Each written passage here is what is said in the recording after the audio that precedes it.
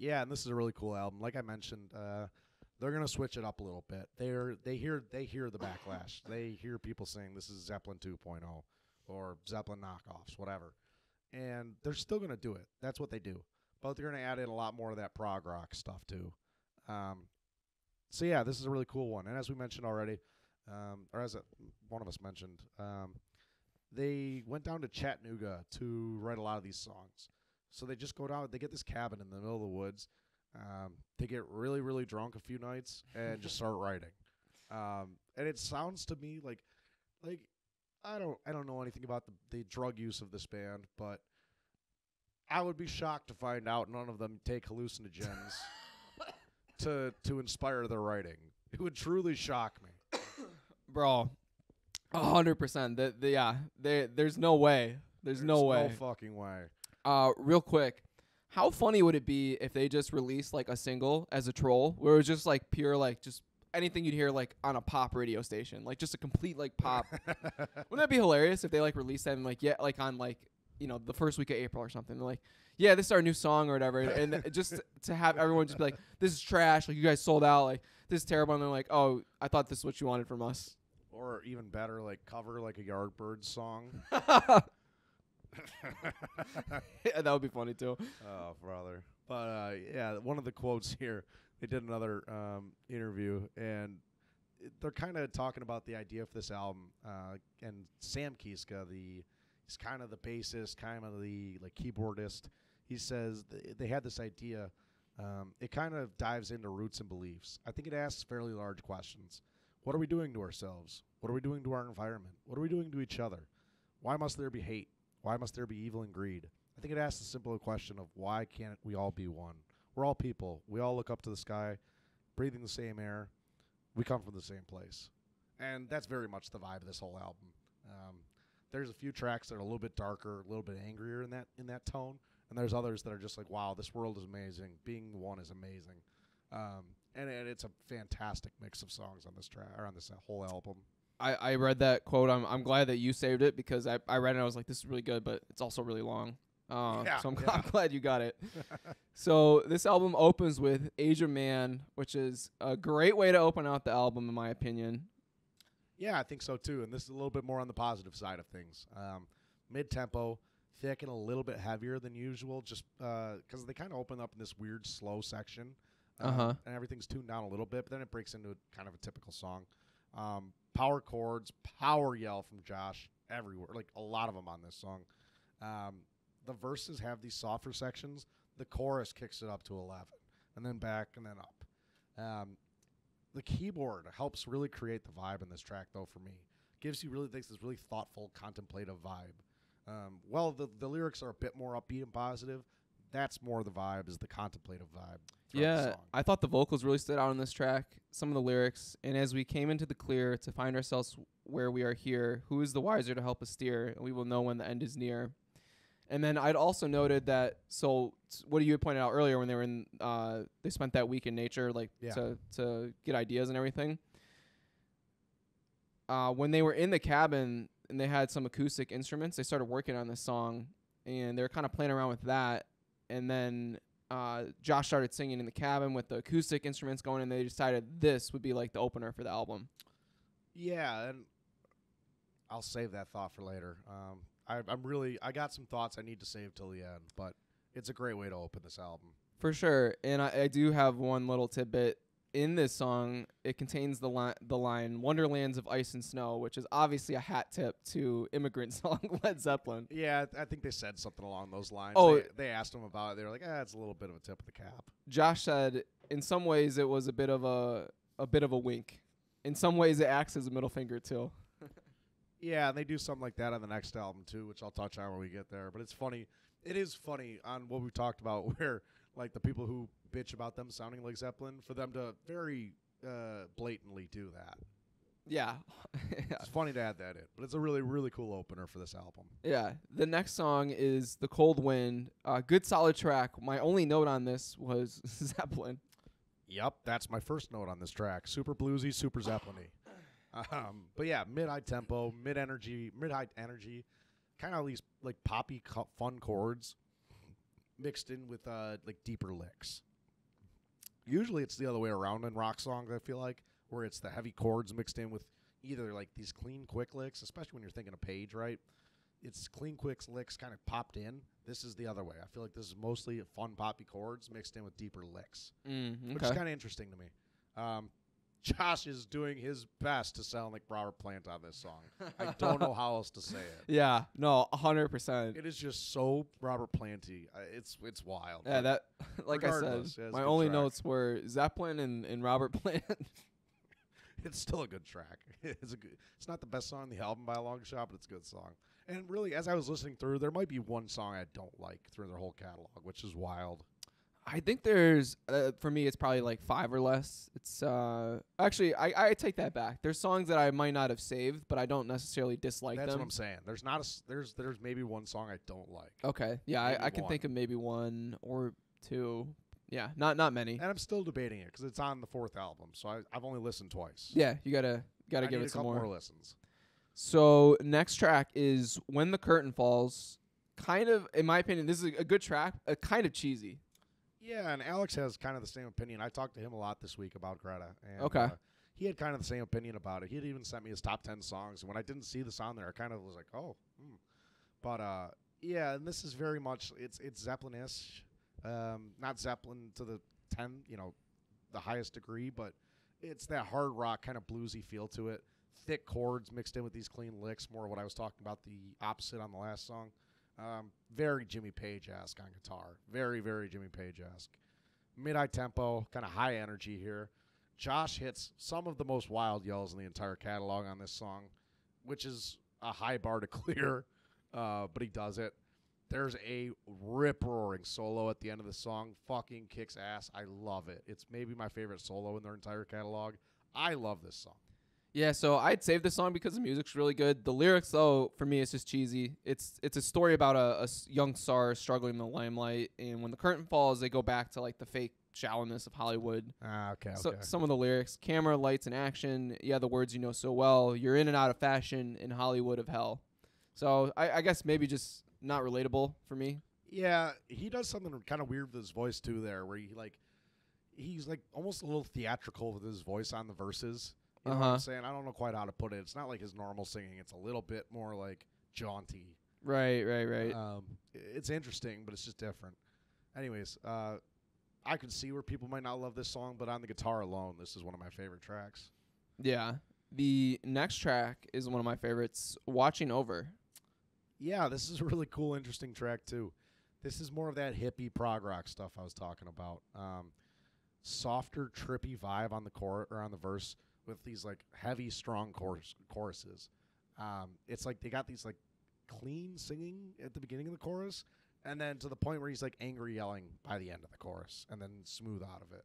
Mm-hmm. Um, there's cool instrumentals kind of sections throughout. I got Cream vibes here again, like Cream Clapton vibes here. okay. Um, this is one of the other songs about like taking care of the planet. Yeah. So to your point of again him being a little bit angry, this the song gave me uh, climate change, and then I, there's hints of religion, but more more focus on the climate change, in my opinion. Uh, some of the lyrics, I wonder when we'll realize this is what we got left, and it's our demise with the water rising and the air so thin. Still the children smiling. Can we see no sin?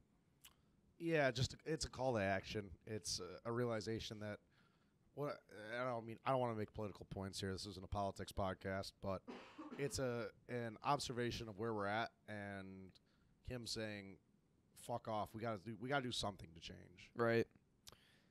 Next up is lover, comma leaver, L E A V E R. Yeah, it's an interesting track to me. Um, because they do a little bit of like chanting in the chorus, um, and he he gets into a little bit more of this as we go through the catalog. But uh, this got this like thick bluesy chords throughout, a little bit more choppy, I would say, than usual. Um, Josh yelling at the mic for almost the entire song. Uh, this chorus does rock Yeah. throughout. Like it is choppy, but when he hits those notes, and I'm not even going to try right now, given my state of affairs. But when he hits those notes, it's bone chilling. He kills it.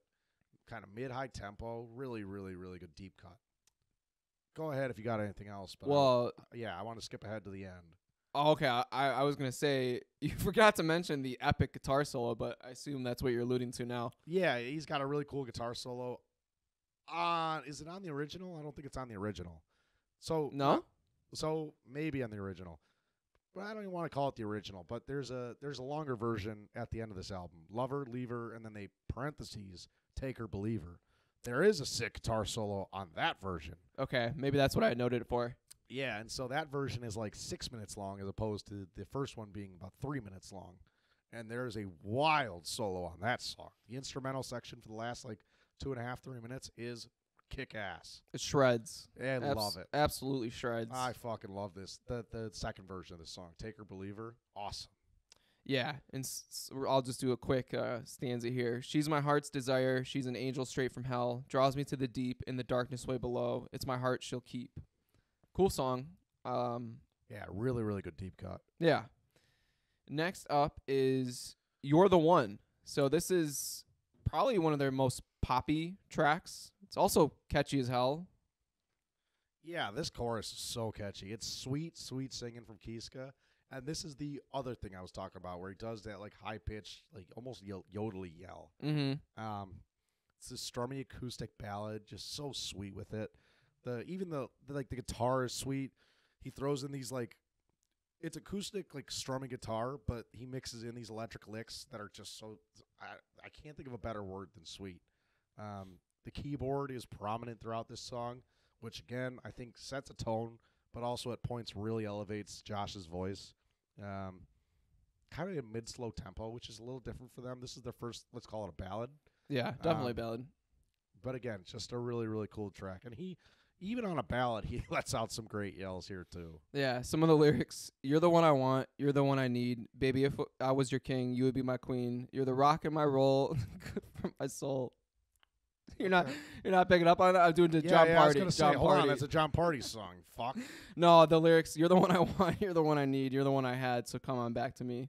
But I saw those first two lines and I was like, oh, I think I can slip in some John Party here. You almost got me. I heard it. I was like, no way. See if see if Joe catches on. you didn't let me stew long enough. I know. I was I was uh, Uh, was good though. about to. I was cracking myself up. That's when I my poker face is not there. Uh, next up is the new day. The New Day, kind another acoustic track, mid high tempo, mid high energy. Um, breaks in a little electric guitar later on. Kind of simple, uh, nicey solo at the end. Um, he does a really good. Josh does a great job on the mic here, but he doesn't do so much yelling. This is him more in his like mid to mid high level. He doesn't really yell. And He never gets below a mid level. Let's just say that. There's never there's no songs where he gets below a mid level. Um, he does it like, and, and that's a great way of like keeping it in tune with the music. I'll say, because there's a lot of songs where he overpowers the music, and- which is fine. They do a great job of it. But this just does a really good job of keeping in like in, in level with the music because the music's a little bit softer here. Yeah, the lyrically for me, it I noted that the lyrics sound fake deep is what I'll call it. Some of the lyrics: "Love isn't greed; it's a need that goes unspoken. Love doesn't leave when you fade away. Pain isn't vain if it make means your heart's been broken. Pain is the same as it means to heal." I don't mean to be a hater. It's just uh no, this sounds like it's like a maybe a poem, perhaps. Yeah, yeah, a little bit of. Uh, I don't know how to put it, but I, I get what you're saying for sure. It's a little bit cheesy. Yeah, still still a decent song though. Yeah, for sure. No problem with it. Uh, the next song was probably my least favorite off the album. Oh, I'm getting, getting the evil eyes here. Mountain of the Sun. You didn't like this song. I fucking love this song. Yeah. Love it, love it, love it. Tell me about it. Mid tempo, kind of upbeat, solid hard rock track. Uh, great yells and yodeling from Josh here. The solo on this track just it like does a great job of echoing the the beat of the song throughout and like adding onto it a little bit. Um, really cool like stripped section at the end where it's just the drums and Josh singing, and then he rips one at the end of that like strip section. Um, breaks into this final chorus. Great job bringing it up and down in terms of energy. Like we talked about this with Foo Fighters, and we brought it up a million times. But they do a great job bringing you up, down, up, Mm. down, like uh, that square wave uh, vibe to it. This song is a full roller coaster. Maybe my favorite deep cut. I love it. Mm. Okay. Yeah. No. I. I mean, I don't dislike it. I just uh compared to the rest of the sound Yeah. of the album. I guess it Totally I, get wa- you. I wasn't wasn't for me. I guess, Got but it. uh, I do like the next song, "Brave New World." Uh, the name obviously coming from the book from Aldous Huxley. Aldous Huxley. Yeah. Yeah, and this is maybe the one that I would say. So we're we're gonna flip flop here because this is the only one I put down. It's Oh, okay. Okay. That's Yeah, funny. So this is probably my least favorite on this album. Um, mid tempo, kind of progressive vibe to it. Chunky, deliberate chords with like heavy licks mixed in. Heavy drums. Josh angry again here. The chorus is maybe not my favorite here. Just something off about it. Yeah. So I mean, the song takes inspiration from Brave New World. Uh, that's why they titled it Right. Take- right. Take one look at your skies, and in the darkness realize, kill fear, the power of lies, for we will not be hypnotized. Right, and that's kind of the vibe of the whole book. Is the whole book is about these people who take drugs that like make them just happy and complacent. Soma. Soma, and I uh, wanted to try some Soma after reading that book. I want to sit down and like eat some Soma and like listen to this album. yeah, yeah, definitely. Oh, I you know what's funny? I just read that book a couple months ago. It's a it was it was interesting. I like I there was a point in the book where like I put it down for a couple weeks. I was like, what is this? And then like when I finished it, I was like, oh, that was actually really good. yeah, it's got a, a good twist at the ending. It's not. It's a good book. I'm not gonna do- dog it in terms of like uh, uh, dystopian future books. Not my top three or. It's four. got nothing on 1984. No, it it 1984 puts it to shame. Slaughterhouse Five. Well, that's not nearly the same thing, but like I can think of a couple others that are just I, I like a lot better. Um, but it's still a good book. Yeah. Um, they got this like buzzy, obfuscated solo at the end of it. Again, very 60s, 70s, like hard rock, um, glam rock kind of thing. But uh, whatever. Yeah. Next up This is, is actually the last al- or last song on the album here. sorry, what was that? This next song is the last song on the album. Oh yes. So anthem. So the lyrics for this song are actually based on a poem that Josh wrote, and Jake told uh, MLive that the song embodies what the album meant to us. It's very topical and current, making the observation that the world is only what the world is made of, which was part of the quote that you read earlier. right. And uh, yeah, it just kind of dives into roots and beliefs. It's a cool way to close this album too. Like, I feel like you've gone through the gamut of emotions listening through this whole album, and this is a like solid, just kind of easy way out of it. They, it's a strummy, like acoustic kind of ballad, lower energy, um, but like mid energy on the vocals. Again, he doesn't get below that. They take out the drum kit and replace them with hand drums here. Mm. Again, you hear those hollow, like thick hand drums. Okay. Um, this gives me like you've already mentioned it, but it's got like unity and harmony written all over Yeah. the song. Just the world is one. Yeah. Be a part of the world. and Josh is doing this like softer singing and some of the lyrics that go along with that. And every glow in the twilight knows that the world is only what the world is made of. Just you and me can agree to disagree that the world is only what the world is made of. Yeah, it's a really nice track and a really nice way to end this album. Yeah, well well thought out the the track placement, the opener, the closer, well thought out. A hundred percent. They didn't. This is a vast improvement on the first one, even. This Oh, album, in terms of song structure and placement yeah, and I- I everything. think the double EP. It's good, but it doesn't really have a cohesive vibe to it. It's right, just- right. they're just songs on a track list. This album, top to bottom, is uh, really well thought out, top to bottom. Yeah, agreed. And then the last track, or not last track, but uh, the bonus we'd already kind of talked about it. The lover, leaver, and then now in parentheses, taker, believer. Like you had already mentioned, uh, they add that epic guitar solo, an extra two minutes, two and a half minutes of instrumental work. Uh, really good stuff. Yeah, good track. I prefer that to the original. Likewise.